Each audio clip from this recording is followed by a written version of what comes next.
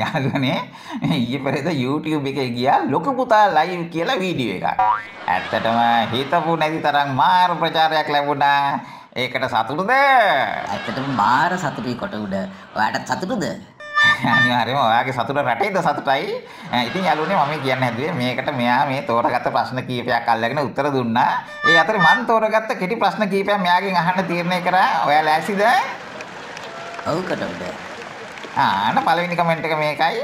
ප්‍රදීප් කුමාර මහත්තයා අහනවා බෙල්ල ගාවට අපිව හිර කරලා දැම්මට ඔබ ඇතුළු අයට ගොඩාක් පිං.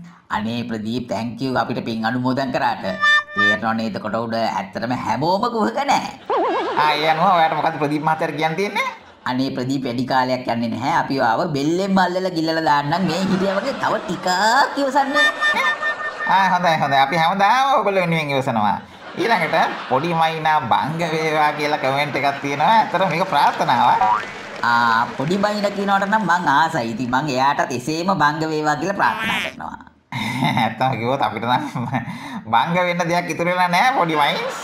එහෙම හිතන්න එපා කොට උඩ. උඹලා මල කදන් වගේ හිටියට තාම හොරෙන් හුස්ම ගන්නවා අපිට පේනවා. ආ හොඳයි හොඳයි හොඳයි.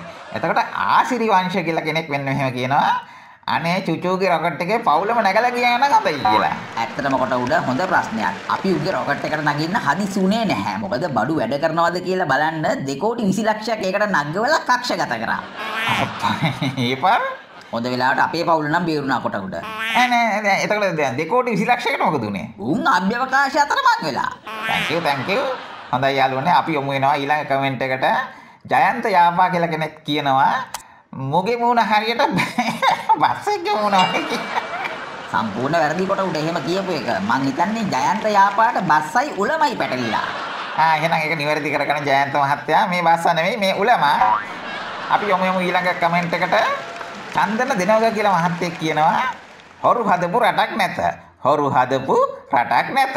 ඉතින් කවුද බන් තියනවා කිව්වේ? ආ රයිට් චන්දන මේ කියන්නේ ඔබ නිවැරදි කියන එක. ඊළඟ කමෙන්ට් එක මොකද්ද? ආ මනුසද කැලුම් කියලා මහත්තයෙක් කියනවා යකෝ උඹට ලැජ්ජාවක් නැද්ද කියලා.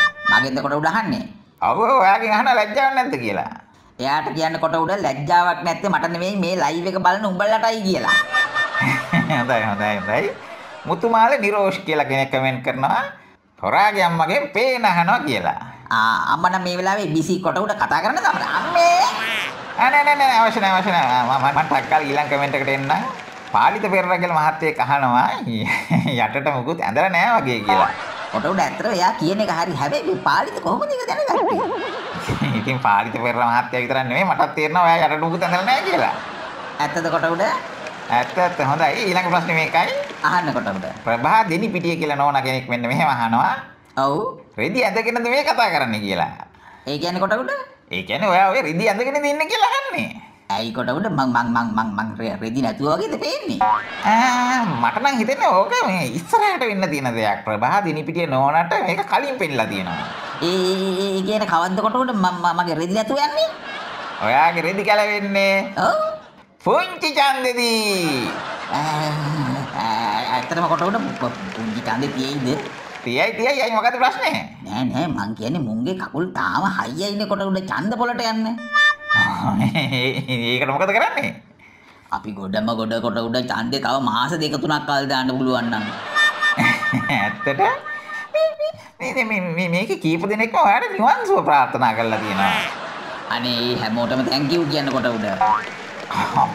ඇයි? මට වර්ල්ඩ් රෙකෝඩ් එකක් තියන්න උදව් කරාට. මොකද්ද වර්ල්ඩ් රෙකෝඩ් එක? මේ ලෝකේ විශාලතම ඔව් online ban suku boleh lebih ma. Baik dah, nak. Saya.